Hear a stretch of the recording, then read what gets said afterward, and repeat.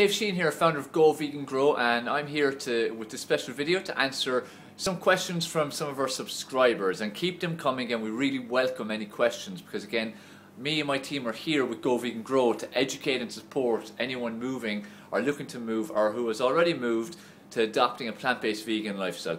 Um, so the question that came in was, you know, in terms of dairy and some people understanding the need to change from dairy and understanding the information behind it and the reasons that we put out there. However, they don't see what can they replace their dairy with. Simple thing like, you know, what to put in their tea instead of milk, the typical dairy milk. You know, what can make it still taste good. Um, and cereals and so on. So this video is just about that, just about how to replace. So there's loads and loads of options. What you're looking at doing is things like soya milk, rice milk, oat milk, um, there's coconut milk, there's hazelnut milk, so many. Let me just show you here. I'm in my favourite vegan store here in Liverpool. It's uh, the Purple Carrot. See below a link, get under uh, Facebook and like them. Great shop, great people running it. Um, but here, look at the shelf here, right? It's going to show you. So we're looking here. You've got like my favourite is Rice Dreams. So I love rice milk. So you got Rice Dreams, different types. You got hemp. So different types of rice. You got hazelnut. You got almond. Actually, almond is really creamy. People tend to really love creamy, creamy um, almond milk. Oat milk is another one, very popular. Oatly is another good brand. Not sure if they have it here at the moment. Oh, they have actually.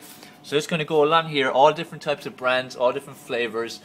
More rice, more Oatly. Almond Breeze is really nice. Coconut milks and so on. So the bottom line is there's loads of options. So what you do is, you know, it's everyone's different. I personally like rice milk, that's what I use. Sometimes I use almond milk, sometimes I use soya milk. Mix it up a bit. One thing on the soya, there's a lot said about soya, stay away from it. It's bad for you, it's too much estrogen. For me, I don't go for that. True in a lot of world, especially in the United States, even up to 80% of soya is GMO based. So it's hard to know whether you're getting GMO or you're getting pure soya. Look at like the companies, look at the background behind some will have it notified on the products that it's not GMO, uh, but over in Europe and Asia, it's you know there isn't as much risk yet. I stress the word yet in terms of GMO. Just be careful with it. What I'd say is just don't base all your food on like soya milk. Make sure you mix it up. So I use rice milk, almond milk, hazelnut milk, all different kind of milks. Mix it up.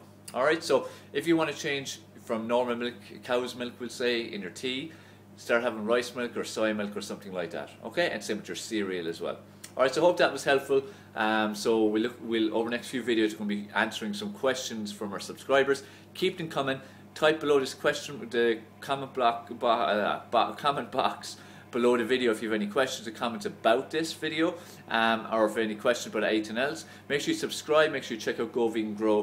You know, let us help you to save yourself, save animals, save the planet. Go vegan, grow, make a difference.